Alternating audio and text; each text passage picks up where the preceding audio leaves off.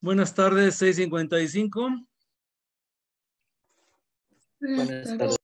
A ver cuántos entran hoy. El viernes entraron muy pocos. Fue jueves, ¿no? Jueves, entraron muy pocos. Bueno, o fue viernes. Ah, no fue viernes, le repuse una sesión, sí, cierto. Estábamos viendo campo eléctrico. Ya le revisé tareas también. Ya les mandé calificaciones. ¿Hay alguna inconformidad, algún comentario sobre la tarea número 8, jovencitos? ¿No? Bueno, rápidamente vámonos al Classroom. Aquí, aquí.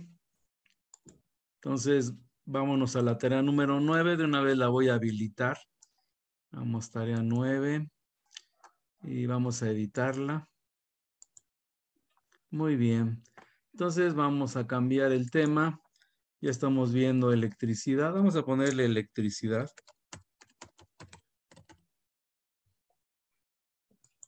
Apuntes, sí, ok. ¿Y qué videos tenemos aquí? Mm, no. Voy a tener que borrar todos estos. Vamos a quitarlos. Estos ya no.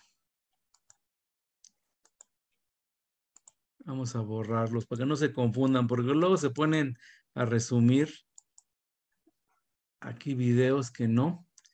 Entonces, ahorita apuntes y resumen. Todavía no agrego videos, pero de una vez vamos a ponerle fecha, porque ya le estoy poniendo fecha a todas las tareas. Entonces, febrero, vámonos al 18 de febrero. Esa va a ser la fecha de entrega de la siguiente tarea, de la 9. no y les tiene que llegar ahorita un aviso de de que ya está asignada la tarea. Evidentemente va a ser lo que se vea en las siguientes tres semanas. ¿Ok? Nada más la habilité para que tengan presente. Todavía no tiene nada. Entonces vamos a dejar de compartir. Bueno, entonces vamos a ver el libro donde nos quedamos la última vez. Comparto donde está aquí. Listo, aquí está. Campo eléctrico. Esto fue lo que empezamos a ver. A ver, permítanme, déjenme subir esto que me está estorbando. Ok. Entonces, estábamos viendo esto, concepto de campo. Eso fue lo último que vimos. Muy bien.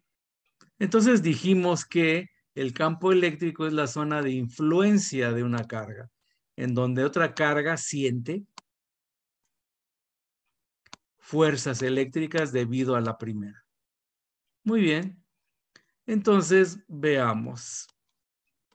Aquí ya hay unas fórmulas y dice, esta definición proporciona una prueba de la existencia de un campo eléctrico. Basta colocar una carga en ese punto. Si se observa una fuerza eléctrica, existe un campo eléctrico en ese punto. ¿Qué me está diciendo? Pues simplemente me está diciendo esto. Si yo tengo una carga positiva, digamos, y siente una fuerza, digamos, para acá, eso significa que estoy dentro del campo eléctrico de otra carga, porque estoy sintiendo una fuerza que podría ser de repulsión, eso significaría que hay por aquí otra carga positiva, o puede ser de atracción, que significaría que por aquí hay una carga negativa, pero estamos dentro de la zona de influencia de alguna de esas dos cargas porque hay fuerzas. Eso es lo que me está diciendo simplemente. Borro. Dice, eh, del mismo modo que la fuerza por unidad de masa constituye una definición cuantitativa de un campo gravitacional, la intensidad de un campo eléctrico puede representarse mediante el concepto de fuerza por unidad de carga. La intensidad de campo eléctrico ya se va a poner E mayúscula para la intensidad de campo eléctrico. En un punto se suele definir en términos de la fuerza F que experimenta una carga positiva pequeña más Q, cuando está colocada precisamente en ese punto. La magnitud de la intensidad del campo eléctrico está dada por Y esa es la fórmula para campo eléctrico que vamos a utilizar. Campo eléctrico es igual a la fuerza eléctrica entre la carga. Por lo tanto, las unidades de campo eléctrico van a ser, las unidades de fuerza son los newtons y las de carga son coulomb. Entonces, newton entre coulomb son las unidades de campo eléctrico. Dice, en el sistema métrico, una unidad de intensidad de campo eléctrico es el newton por coulomb. Bueno, entre, no sé por qué ponen aquí siempre por. Newton entre coulomb. La utilidad de esta definición radica en que si se conoce el campo en un punto dado, podemos predecir la fuerza que actuará sobre cualquier carga situada en ese punto puesto que la intensidad del campo eléctrico se define en términos de una carga positiva, su dirección en un punto cualquiera es la misma que correspondería a la fuerza electrostática sobre una carga positiva en ese mismo punto. Dice, la dirección de la intensidad del campo eléctrico E mayúscula en un punto en el espacio es la misma que la dirección en la que una carga positiva se movería si se colocara en ese punto. Explico qué está diciendo ahí. Si yo tengo una carga, a ver, ¿dónde está la plumilla aquí? Si yo tengo una carga positiva de prueba, así se dice, y siente una fuerza para acá, entonces el campo eléctrico va para allá.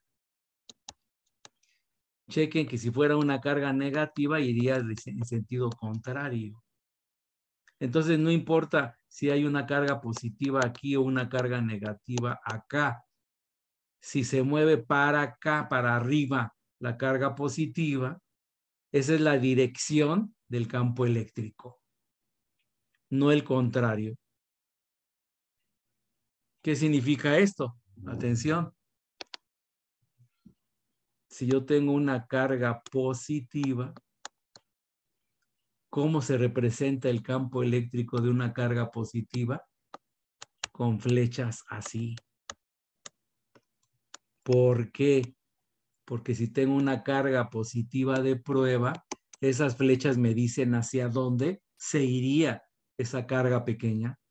Si fuera positiva la carga original, la carga central, pero si fuera negativa la carga, cómo se representa su campo eléctrico con flechas para adentro. ¿Por qué? Porque una carga positiva de prueba, esa sería la dirección que tomaría si fuera negativa la carga central. Así se dibujan los campos eléctricos de cargas positivas y negativas. Entonces, a ver, borro, vámonos a un Jamboard. Dejo de compartir.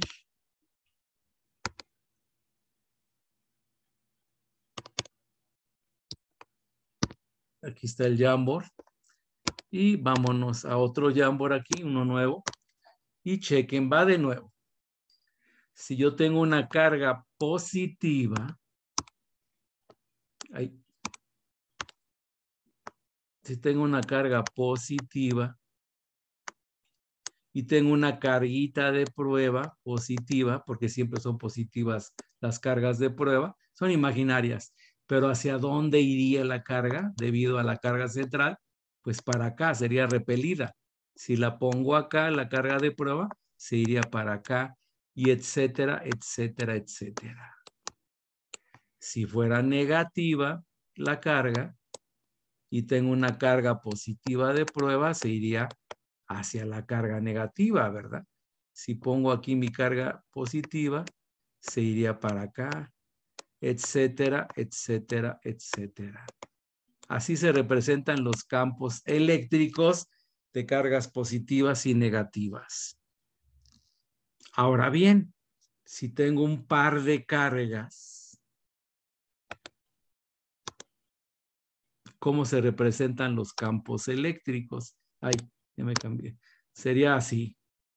Tengo una carga positiva. Vamos a poner que sean de cargas contrarias. Cargas negativas. Entonces, si pongo una carga aquí de prueba, ¿qué es lo que haría?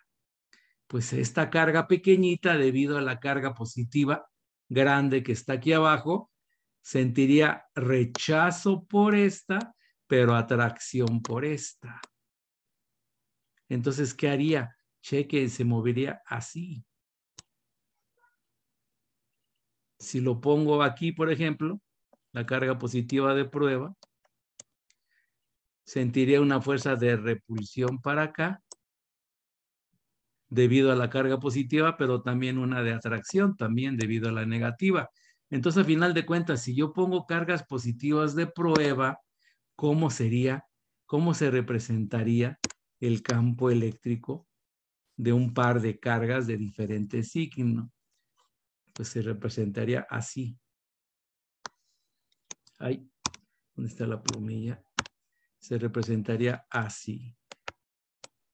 En, saliendo de la carga positiva y entrando a la carga negativa. Así sería más o menos. Aquí sería, más o menos sería así. Chequen que las flechas entran en la carga negativa, pero si pongo flechitas aquí,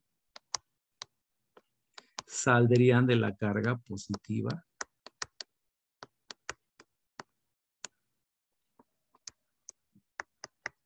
Ahora, si yo aíslo las cargas, pues es lo que dibujé originalmente, ¿verdad?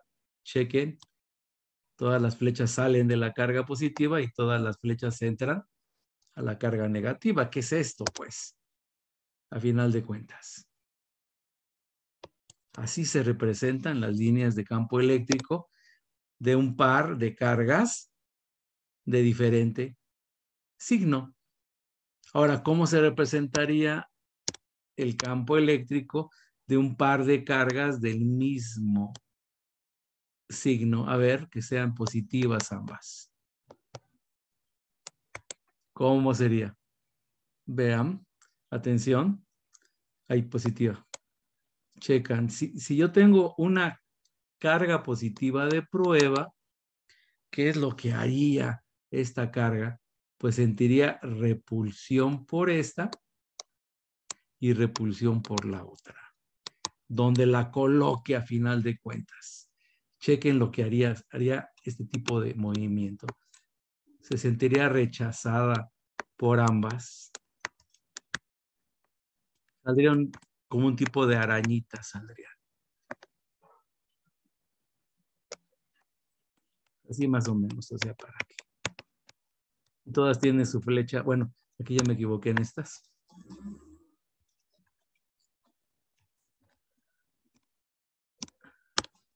Serían así más o menos. Porque sería la dirección que tomaría una carga positiva cerca de estas dos, que también son positivas. Sería repelida por ambas. En cambio, si tuviera dos cargas negativas, vamos a hacer más pequeño el dibujo sentiría atracción por ambas. Entonces sería exactamente lo mismo, pero ahora las flechas en lugar de ir hacia afuera, irían hacia adentro. Porque se sentiría atracción por ambas cargas. Ahora serían para adentro las flechas.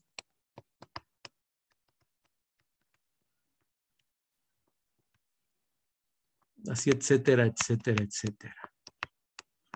Esto sería para cargas de el mismo signo. El dibujo es similar. Claro, aquí es como curvita, aquí son curvas, no son rectas. Es similar, pero las flechas van en sentido contrario. Aunque estas son representaciones, ¿eh? no es que existan esas líneas. Es simplemente hacia dónde iría una carga positiva de prueba cerca de estas configuraciones. Ahora bien, si yo tuviera una placa metálica cargada positivamente y pongo otra placa metálica cargada negativamente, ¿cómo se representa el campo eléctrico? Pues de nuevo ponemos una carguita de prueba positiva y ¿para dónde se va? Pues se va para acá, para abajo. La coloque donde la coloque entre las dos placas, el campo eléctrico va así.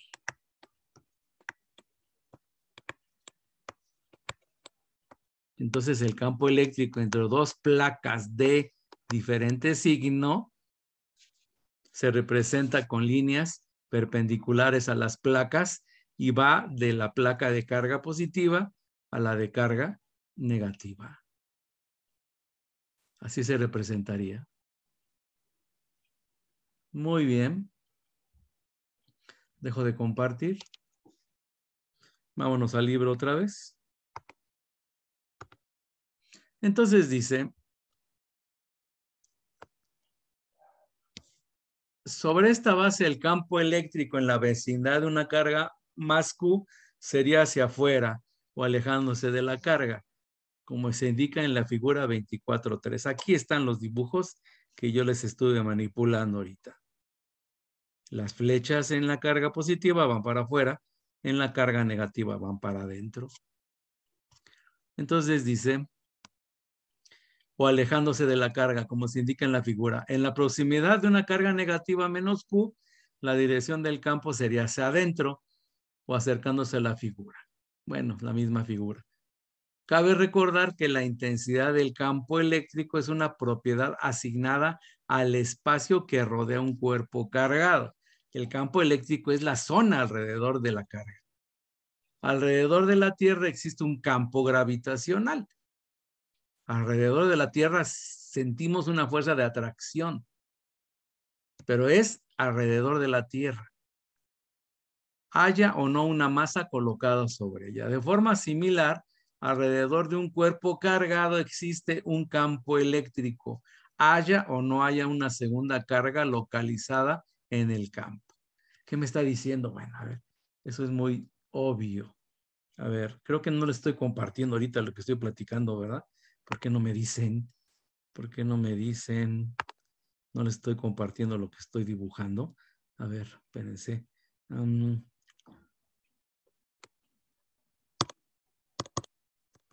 aquí. Entonces va de nuevo. Aquí están los dibujos de los campos eléctricos. Positivo y negativo. Entonces, ¿qué es lo que me dice? Va de nuevo, dice.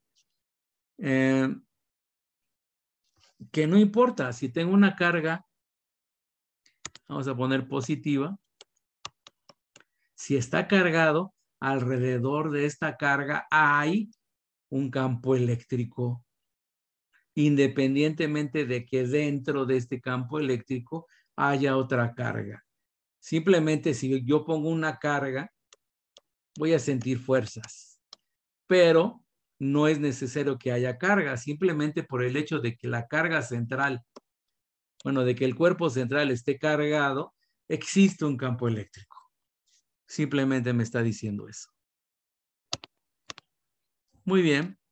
Luego dice, cabe recordar que la intensidad del campo eléctrico es una propiedad asignada, eso ya lo leí, alrededor de la Tierra existe un campo gravitacional, hay o no una masa colocada sobre ella. De forma similar, alrededor de un cuerpo cargado existe un campo eléctrico, haya o no una segunda carga localizada en el campo. Si una carga se coloca en el campo, experimentará una fuerza F dada por, bueno, esta fórmula sale de despejar de la fórmula aquí. Simplemente la carga pasa multiplicando y me queda que fuerza es igual a E por Q o Q por E, ahí está la fórmula. Donde es la intensidad del campo eléctrico, Q es la magnitud de la carga colocada en el campo. Si Q es positiva, E y F tendrán la misma dirección. Si Q es negativa, la F estará en dirección opuesta. Bueno. Y aquí tenemos ejemplos que ahorita no voy a ver. Cálculo de la intensidad del campo eléctrico. A ver, déjenme quitar aquí esto porque me está haciendo aquí mosca. Dice, hemos analizado un método para medir la magnitud de la intensidad del campo eléctrico en un punto en el espacio. Se coloca una carga conocida en ese punto y se mide la fuerza resultante. De este modo, la fuerza por unidad de carga es una medida de la intensidad del campo eléctrico en ese punto. La desventaja de este método es que no parece tener una relación clara con la carga Q que crea el campo, la carga central. Mediante la experimentación se demuestra rápidamente que la magnitud del campo eléctrico que rodea un cuerpo cargado es directamente proporcional a la cantidad de carga. Y chequen, aquí tenemos la ley de Coulomb. A ver, ¿dónde está la plumilla? Esta es la ley de Coulomb. Y tenemos que E es igual a F entre Q. Entonces, chequen, E es igual a F pero F por la ley de Coulomb es K por Q por Q, donde son las dos cargas, entre R cuadrada entre Q. Y chequen que se me van a eliminar. Voy a poner un 1 para hacerle el sándwich. ¿Y qué me queda? Me queda eh, K, Q mayúscula Q, entre R cuadrada Q y se van las cargas. Y me queda esta expresión. El campo eléctrico es la constante eléctrica por la carga central entre la distancia al cuadrado. Esa es la fórmula para el campo eléctrico. Otra fórmula para el campo eléctrico. Muy bien. Dice, donde K es igual, ya sabemos, a 9 por 10 a la 9, esto ya lo sabíamos. La dirección del campo se aleja de Q, si Q es positiva, ya sabemos, y viceversa. Es hacia Q si Q es negativa. Ahora tenemos una relación que nos permite calcular la intensidad del campo en un punto sin necesidad de colocar una segunda carga. Bueno. Y vamos a ver este problema. Este está sencillito porque es que los otros luego meten ángulos que no quiero meterme en eso. Dice, ¿cuál es la intensidad del campo eléctrico a una distancia de dos metros de una carga de menos 12 microcoulombs? Bueno, pues ya tenemos la fórmula, está aquí arribita. E igual a K por Q mayúscula entre R cuadrada. Y ya tenemos los datos. R, dos metros de una carga. A ver, chequen que aquí hay una inconsistencia, ¿verdad? porque me están diciendo en el problema dos metros. Y aquí me están poniendo dos milímetros, ¿se dan cuenta? A ver cuál es la que está usando. Chequen aquí, está rarísimo esto, ¿no? Y aquí está 0.02. Está raro esto. Aquí hay un error, no había dado cuenta de este error. Dice, ¿Cuál es la intensidad del campo eléctrico a una distancia? Según el problema, R vale 2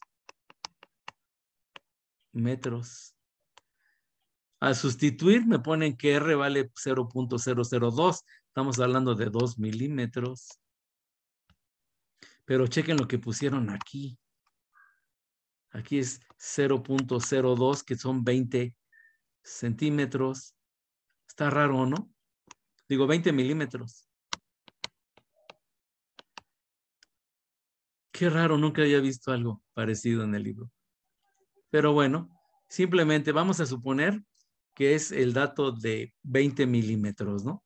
Para que sea coherente la operación. Entonces vamos a borrar. Entonces, chequemos. Esto es K, ya sabemos. La carga, ese sí está bien, es 12 por 10 a la menos 6, pero no le pusieron signo. Y la distancia, aquí pusieron 20 milímetros. Está rarísimo eso. Y ese es el resultado que da. 2.7 por 10 a la menos 8 newtons entre Coulomb hacia Q. ¿Por qué? Porque es negativa. Y si es negativa, entonces el campo eléctrico va para adentro, va hacia la carga. Ok. Entonces vamos a borrar.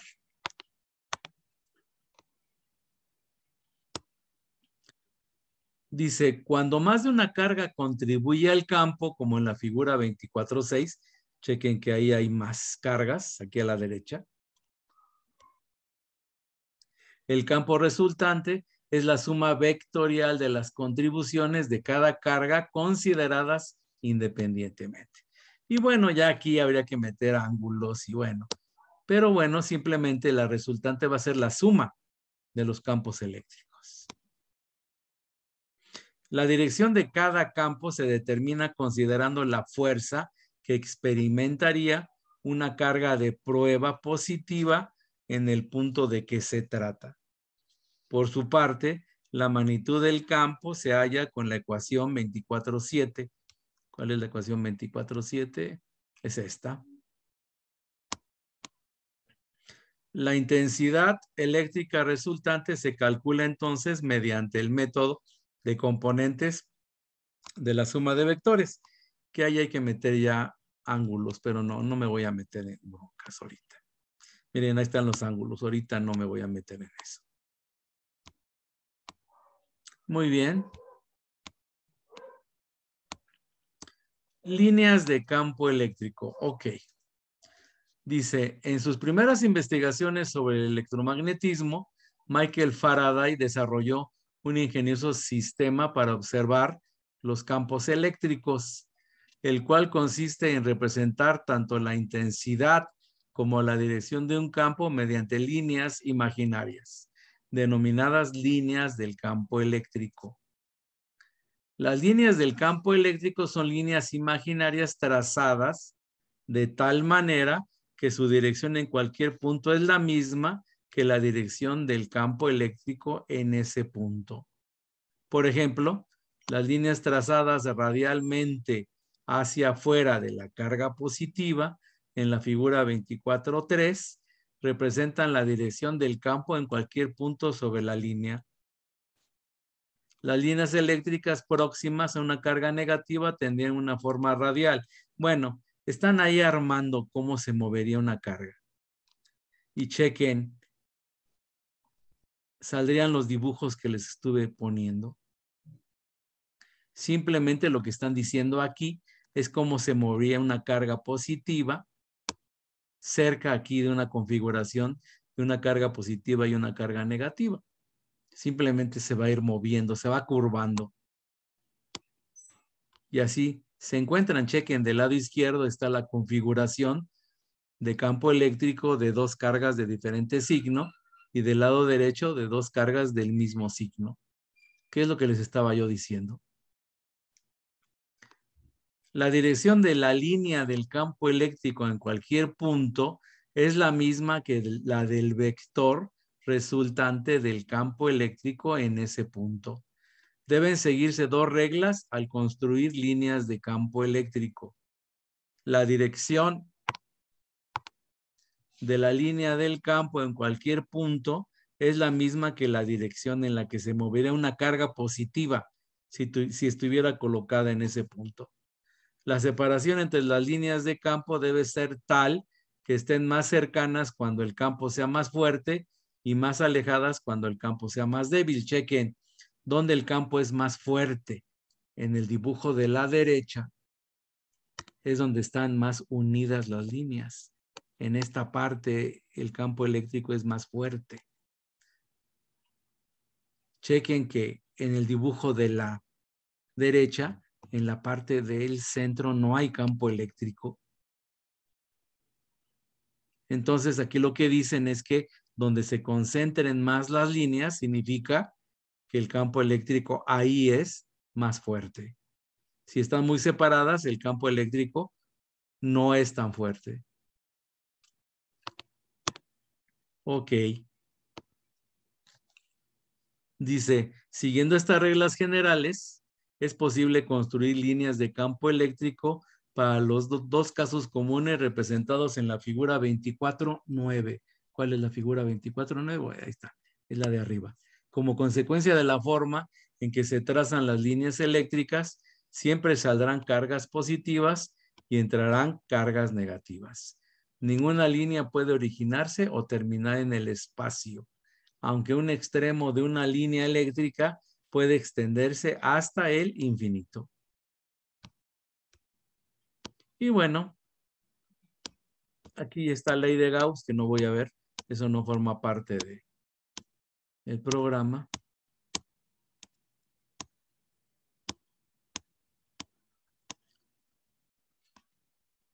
Y chequen, aquí está la placa positiva, la placa negativa y hacia dónde va el campo eléctrico, pues va de la placa positiva a la placa negativa de forma perpendicular a las placas a 90 grados.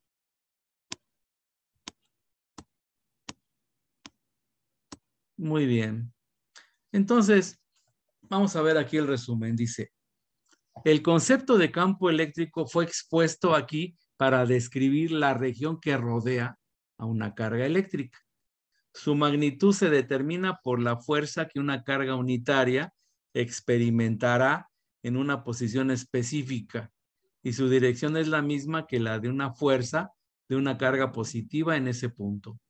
Las líneas del campo eléctrico fueron postuladas para dar una imagen visual de los campos eléctricos. O sea, son imaginarias.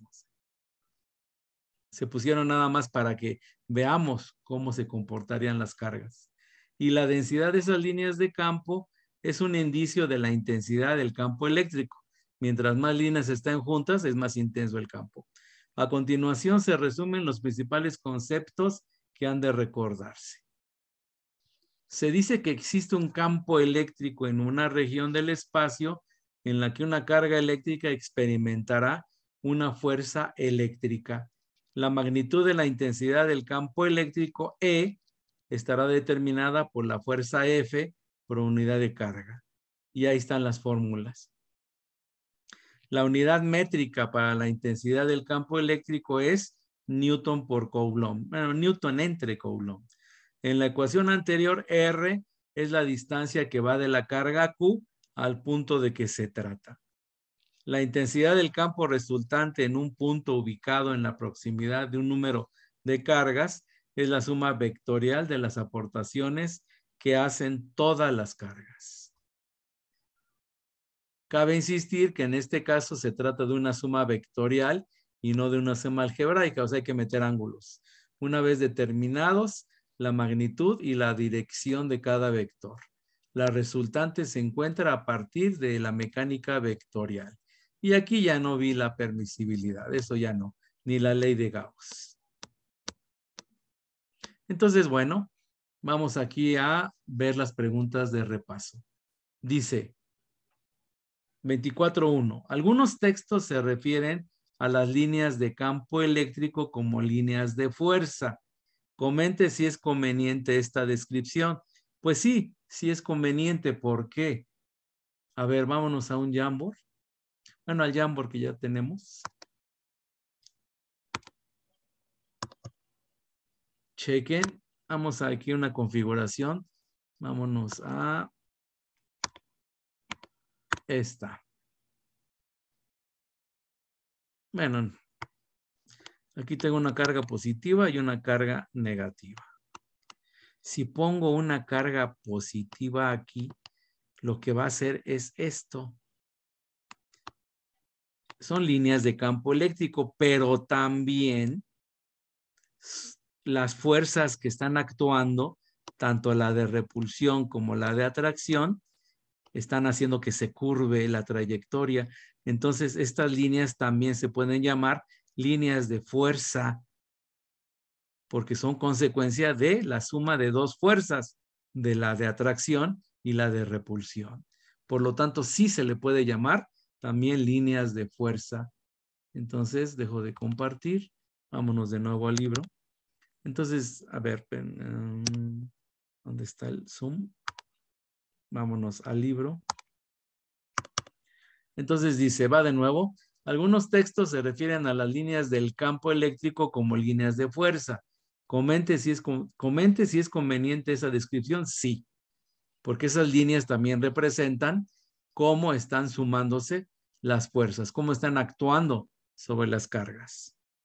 Luego dice, ¿puede existir un campo eléctrico en una región del espacio donde una carga eléctrica no estaría sujeta a una fuerza? Explique su respuesta. Aquí me están preguntando, si tengo una carga y no siente una fuerza, ¿hay campo eléctrico o no hay campo eléctrico? Entonces vamos a ver. Supongamos que tengo una carga positiva. A ver, tengo una carga positiva. Y dice, no hay fuerza. ¿Qué significa eso? A ver, déjenme checar la pregunta, no la vaya a regar. Aquí está. ¿Puede existir un campo eléctrico en una región del espacio donde una carga eléctrica no estaría sujeta a una fuerza? Ok, ya entendí. Entonces vamos a ver.